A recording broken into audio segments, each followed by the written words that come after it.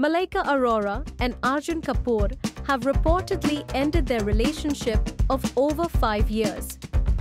Amid the breakup rumors, the actress shared a cryptic note on her Instagram story. The note hinted at the importance of cherished relationships. Her post stated, Good morning. The greatest treasure on earth are the people who love and support us.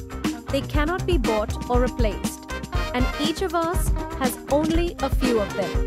For once, I'm looking hotter than her, I'll take it. wow, did you I just think- say that? I think, she, which she, Anika I Mas- think she'll only be happy that for once he's looking She'll hotter. be like, yeah, good. she'll be like, Well done. Earlier today, the news agency IANS reported the actors decided to go their separate ways are still amicable.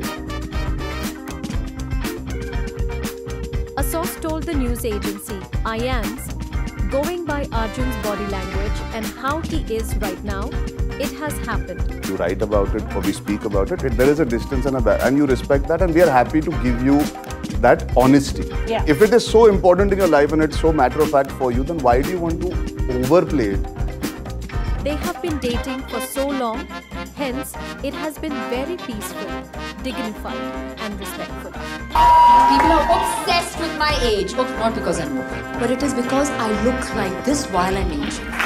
Malaika Arora and Arjun Kapoor began dating in 2018.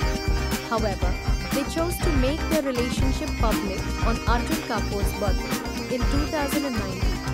The actress shared mushy photos of them on Instagram. For the unversed, Malaika was previously married to Arbaaz Khan.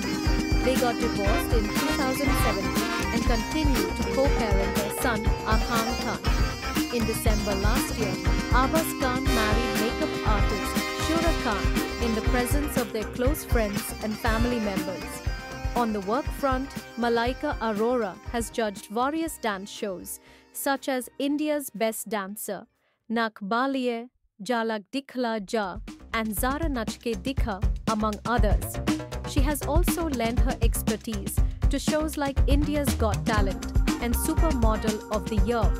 Arjun Kapoor, on the other hand, is all set to star in Welcome 3 and Singham Again.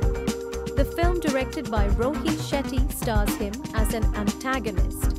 He will be seen alongside Ajay Devgn, Akshay Kumar, Deepika Padukone, Kareena Kapoor, Ranveer Singh, and Tiger Shroff.